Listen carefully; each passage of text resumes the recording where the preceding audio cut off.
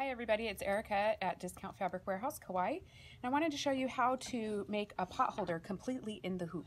So what you're gonna do is you're gonna take your backing fabric and place that in the hoop. And then you have a layer of Insul-Bright and a layer of Warm and Natural batting and then the top of your pot holder. So you're gonna place that kind of right even in your hoop, okay? And then you're gonna put it on the machine. The first thing that you're going to do is a tack down stitch. It's going to go around the edge of the fabric to hold everything in place. Now because we're so thick here though, we're going to want to go into our machine, into our settings here, and you're going to tell the embroidery machine to put the presser foot a little bit higher so that it doesn't get caught. So I go up to 1.0 and then just say okay. And we're going to advance forward to the first stitch of our outline. That way I can make sure that my fabric is exactly in line where I want it to be. Okay, I'm going to put my presser foot down. And one more thing that you actually want to do, go into your settings and you're going to want to slow your machine down because this part is very important. You might want to go down to like 500 because you're going to have your hands here. So you want to just be careful as you're doing this. Okay, so what we're going to do is start sewing and it's going to tack everything into the hoop for us.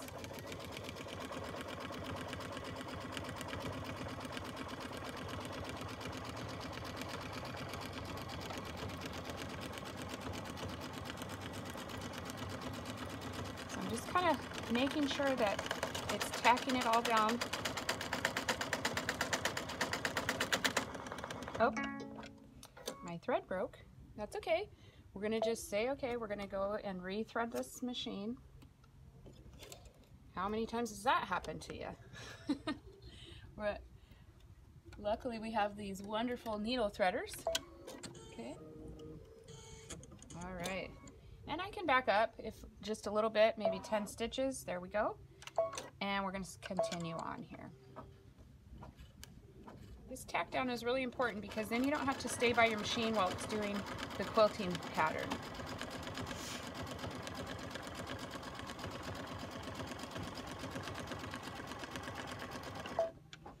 Okay, now what I'm going to do is go back to my adjustments on my machine and you can see it's going to do this nice florally pattern.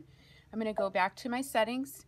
I'm going to speed it back up and I'm going to change the presser foot height back to the default setting because when it's stitching the rest you want to have a good tension and that will do it for you. Okay, then we're going to go up to the actual quilting pattern. We're going to go ahead and start the stitching process. And we'll just let that go. It's going to be about 14 minutes or so and we can go and cut out another piece of fabric. Okay, so our embroidery has finished. So we're going to pull the hoop off. You can take it out of the hoop here. And what you're going to do now, now that you've got a finished pot holder, you can trim it up on the edge about one inch and then you'll be able to fold that as a self bind to finish it off or just square it off and put your own binding on. Super fast and easy project on your embroidery machine. Have fun sewing!